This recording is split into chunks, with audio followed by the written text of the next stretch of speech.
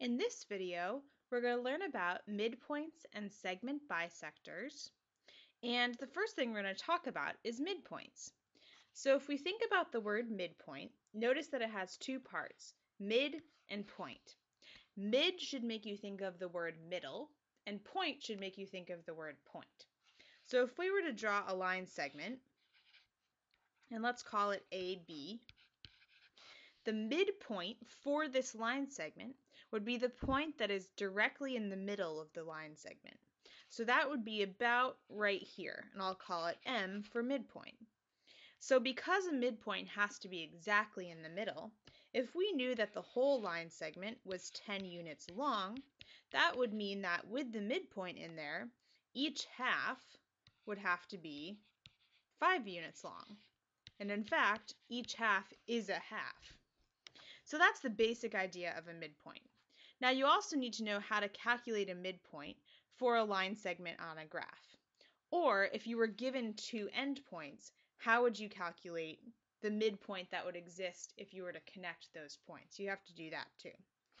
So first, let's just create a line segment on this graph. I'm going to work with the point negative 4, 5 and the point 2, 1. And let's say we want to figure out the midpoint of the segment that connects these two points. So let's draw in the segment in order to first visualize where the midpoint would be. Now by just looking, you might be able to guess that the midpoint is about right here because that looks to be right in the middle. And in fact, that is the answer. This is the midpoint. It's the point negative 1, 3.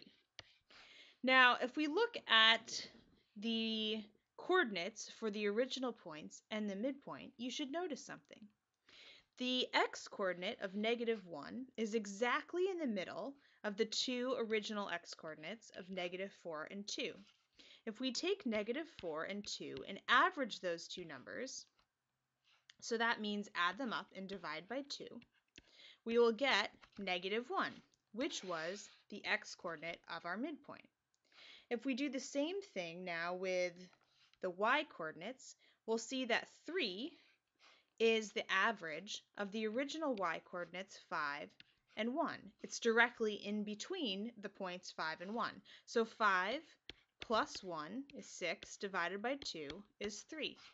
And this gives us the general midpoint formula that to find the midpoint of a line segment created by two other points, you average the x-coordinates and average the y-coordinates.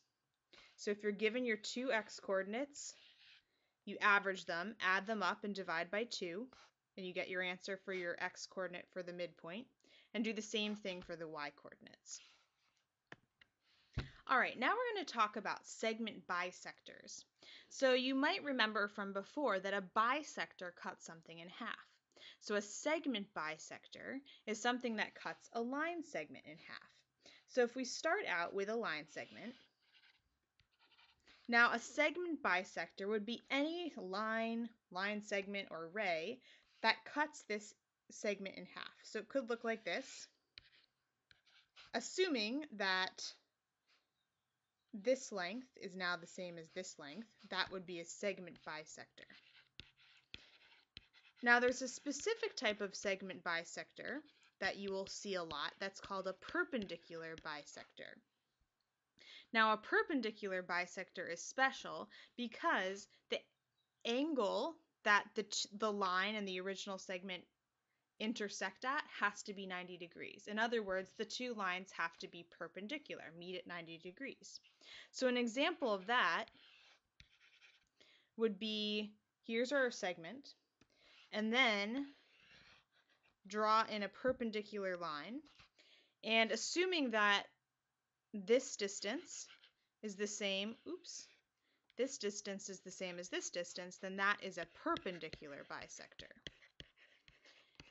And it's important to just remember that perpendicular bisector has the two key parts, that the two lines have to be perpendicular, and the bisector has to actually bisect or cut in half, divide in two, the other segment. Okay, so that means, again, if this was two units long, this also has to be two units long if that's actually a perpendicular bisector. Right now, you should look at the next video, which will go through a couple of examples related to this concept.